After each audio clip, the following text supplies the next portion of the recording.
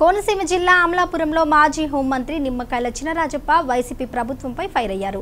అకారణంగా టీడీపీ కార్యకర్తలపై అక్రమ కేసులు బనాయిస్తే చూస్తూ ఊరుకోమని హెచ్చరించారు.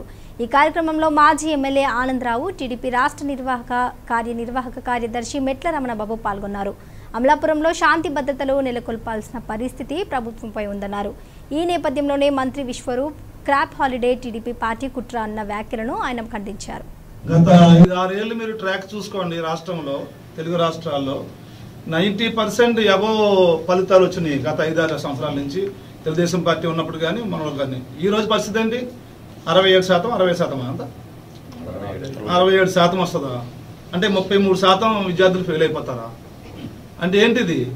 అంటే మీ గవర్నమెంట్ మీద ఉన్నటువంటి వ్యతిరేకత మీ గవర్నమెంట్ విద్యార్థుల పట్ల చూపిస్తున్నటువంటి ఈ ఉదాసీనత ఈరోజు ప్రభుత్వ పాఠశాలలో విద్యార్థులు కూడా ఒక ఇంగ్లీష్ ఒక పిల్ల ఎక్కడో ఒక అమ్మాయి ఒక విద్యార్థిని ఎక్కడో ఇంగ్లీష్ మీడియంలో ఇంగ్లీష్ బాగా మాట్లాడితే మెచ్చుకున్న నువ్వు. మరి రిజల్ట్ సంగతి ఏంటి ఇప్పుడు? ఎందుకు లక్షల మంది ఫెయిల్ అయిపోవాలి రాష్ట్రంలో ఇప్పుడు? ఆ తల్లిదండ్రులు ఎంత బాధపడతారు ఇప్పుడు? ఈ ప్రభుత్వం మీద మీ మీద ఆశపడి మిమ్మల్ని గెలిపించినటువంటి ప్రజలు వాళ్ళ టెన్త్ క్లాస్ బెడ్లో జీవితంలో టెన్త్ అంటే ఫస్ట్ మెట్టు ఆ, ముందే ముందుకెళ్ళటానికి. ఆ టెన్త్ క్లాసులో ఈవేళ పిల్లలు లక్షల మంది ఫెయిల్ అయిపోతే ఈ రాష్ట్రంలో జగన్మోహన్ రెడ్డి ముఖ్యమంత్రిగా విద్యాశాఖ మంత్రి గారు రాజీనామా చేయాలా? ఎందుకంటే అమ్మవాడి కూడా అమ్మఒడి కూడా మోసం చేశారు మీరు. ముందు అందరికి ఇస్తారని చెప్తారు నెగ్గిన తర్వాత కండిషన్లు పెడతారు. అన్ని కండిషన్లే డోకరా అందరికి ఇస్తారంటారు నెగ్గిన కండిషన్ పెడతారు. పెన్షన్ అందరికంటారు నెగ్గిన కండిషన్ పెడతారు.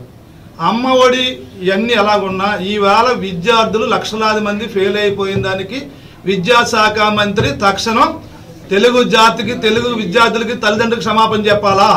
ఈ విద్యాశాఖ మంత్రి ఎంత అసమర్థుడైతే ఫలితాలు ఈ విధంగా ఉంటాయో ఈరోజు దేశం మొత్తం భా- భారతదేశంలో ఎక్కడ ఫలితాలు లేవు తెంతలో లేవు ఇక్కడ. ఒక ఆంధ్రప్రదేశ్లోనే ఫలితాలు వచ్చినాయి ఈరోజు ఆంధ్రప్రదేశ్లో మరి ప్రశాంత వాతావరణంలో చంద్రబాబు నాయుడు గారి పరిపాలన జరిగింది. ఆయన లా అండ్ ఆర్డర్ బాగుంటేనే ఈ రాష్ట్రం అభివృద్ధి చెందుతుందని చెప్పి ఆయన మరి లాండ్ ఆర్డర్కి ముఖ్య పాత్ర తీసుకుని లాండ్ ఆర్డర్ కంట్రోల్ చేయడం జరిగింది. మరి మీరు మొన్న అమలాపురం చూశారు. రాష్ట్ర వ్యాప్తంగా దాడులు రేపులు దొంగతనాలు మర్డర్లు ఇవన్నీ కూడా రాష్ట్ర వ్యాప్తంగా జరుగుతూనే ఉన్నాయి.